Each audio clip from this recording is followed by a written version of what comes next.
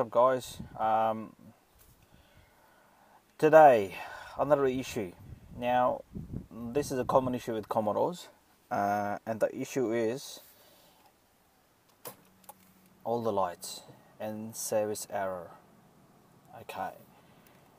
Basically it happens sometime while I'm driving it and sometimes it happens um, when I start it. So basically the first this ABS light will come on in that in this corner and then it will bring check engine airbag and the uh, fuel pressure. Not not the fuel sorry oil pressure. Um, and what it's gonna do basically it will kickstart everything.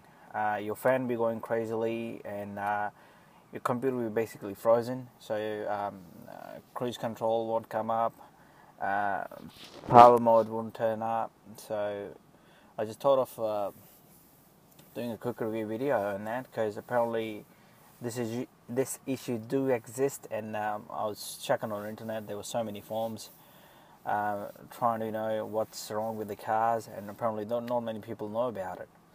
I found the issue, and then I'll um, quickly tell you. Okay, now once I start the car, all these lights they stay there all of them. So the issue in this situation is your ABS module. Yes, it's the ABS module. Apparently, your airbag and ABS is connected to each other somehow. Someone told me. Now, if ABS computer goes faulty, all of your lights gonna play up. And there is a cheap solution to it I'll tell you what it would be. Now, jumping in the hood, problem is with this part. This is your ABS module. Okay, so I'm gonna get it from a wrecker. Apparently he doesn't have one right now because there is a specific kind of uh, ABS module you need for it. So in order to unmount it, you do need to unscrew this, unscrew this, and the whole unit will pop out. Once it's up, you need to undo these four screws. One, two, and two at the bottom. Once you do that, it will pop outside, and then underneath there is a number. You do need to take that number down to your mechanic, or sorry, to the wrecker. He'll be able to give you one of those uh, uh, ABS computers. So it's basically made in Germany. It's from Bosch there are so many places they recondition them but um,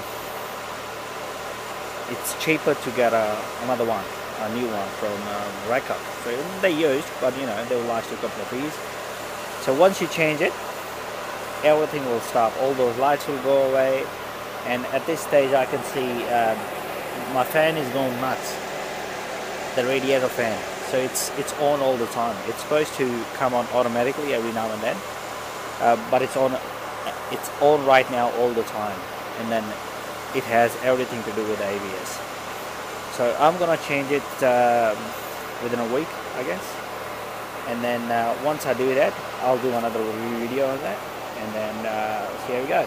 Got any questions? Let me know. If you got any solutions to it let me know. Thank you. Take care